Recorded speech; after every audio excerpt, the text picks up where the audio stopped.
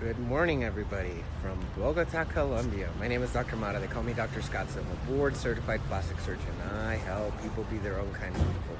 One man is to give natural results from another country. It is about 7 in the morning, and then we have lectures and surgery planned today. I don't know how much I'll be able to snap, but I'll do my best to show you what's going on over here in Colombia. Anyways, have a great day.